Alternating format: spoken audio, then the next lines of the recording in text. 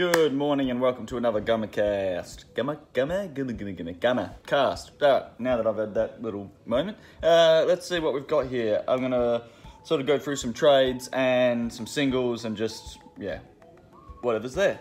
All right, first thing, everyone's a bit of a Donny Cates fan at the moment, so I thought I'd let everyone know we've got Buzzkill in.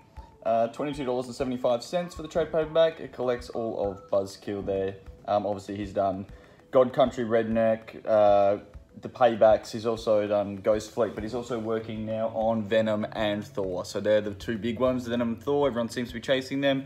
But if you like his style, jump onto Buzzkill. His style of writing. All right. Spawn 311, that awesome homage cover there uh, in the memory of Chadwick, which is really cool. You can see the sort of Black Panther mask. He's doing the, the Wakanda Forever pose, of course. So that's been pretty sought after. It's a cool cover. For Spawn, number 311. Uh, also, of course, three Jokers. Number three is in, so we do have stock of one, two, and three. So if you want the full collection, message us now. We can chuck them aside for you, and that's all set to go when you come in. All right. Uh, Colonel Weird Cosmod Cog. It's a Jeff Lemire weirdo one. So if you like his stuff, jump onto that. We've only got one copy left, so it's the last one left in store at the moment. Alright, I'm really enjoying this one. Savage Avengers 13. I thought I'd share it just because I've enjoyed it heaps. The artwork is stunning.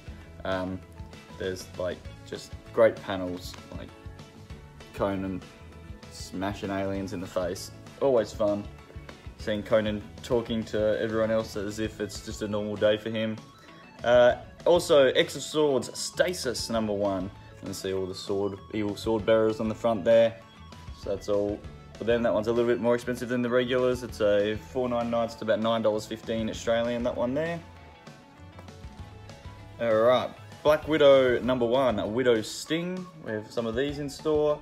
If you're a fan of Black Widow, you can jump onto that one. Good place to start. I believe it's only a mini series, so it's not like you have to get an insane amount of books.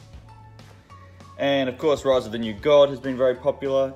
With the death metal, I haven't read it yet. It's on my pile. My pile of death metal stuff slightly, slightly three, four issues. I think I haven't read. I haven't read Goblin King and some stuff like that. So I'll get around to it. They're on my next lot of reading list.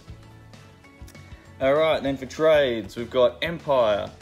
All of it's in there. So the whole lot collecting Empire Zero, Avengers, Empire Zero, Fantastic Four, Empire One to Six, Empire Aftermath, Avengers, and Empire Fallout, Fantastic Four. So this was, I enjoyed this, thought it was a lot of fun. Uh, $72 for that one there. Uh, yeah, just, it was fun. It was very fun. And I have still have heaps of feelings that this is going to lead into some stuff to do with Knull. So if you're getting ready to jump on the Knull one, which I am, I'm going to get all of it. Just, yeah, it's going to be big.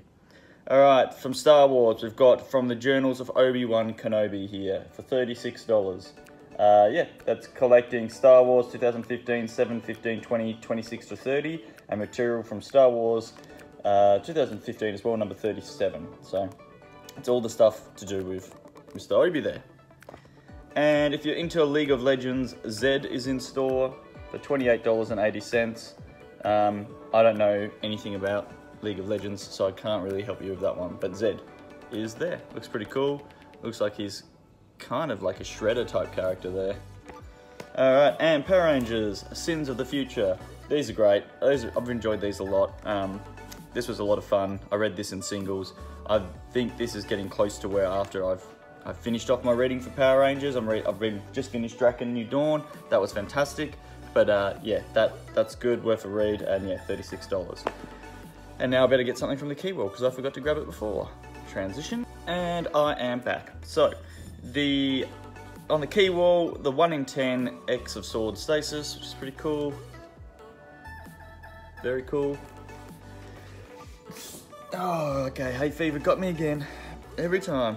All right, and we were lucky. We managed to get uh, another lot, or another lot by me. We got one extra one of Amazing Spider-Man, the Vampire Hunter variant for issue 50. We have $15 on that one because that's first appearance technically of his Vampire Hunter suit.